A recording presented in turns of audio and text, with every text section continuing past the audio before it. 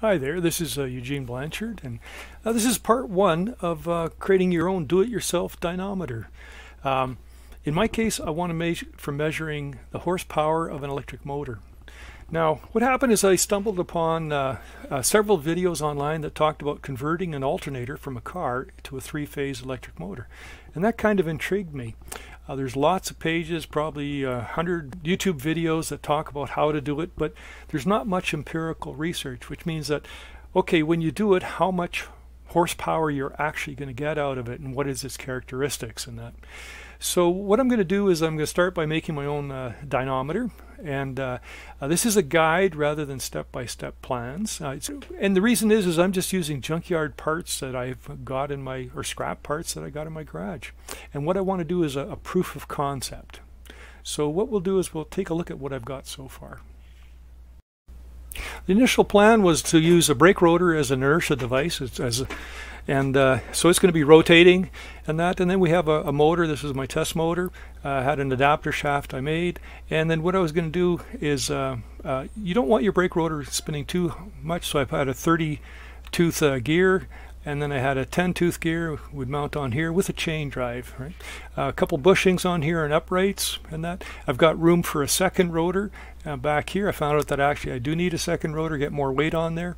This dyno was made out of scrap parts and uh, I had the test motor was uh, one and a half horsepower. And uh, what it did is it had a 5 8 inch threaded shaft in my junk pile, I had a 10 tooth gear that was a half inch, so I had to make an adapter. So I basically made an adapter. It made it quite long. Uh, what I wanted to show was uh, I, when I mounted the motor, basically, let's see, come over this way. Um, I had a support on this side for the shaft, right? So this is just a, a bronze bushing, and that so that way uh, the axle has support on here.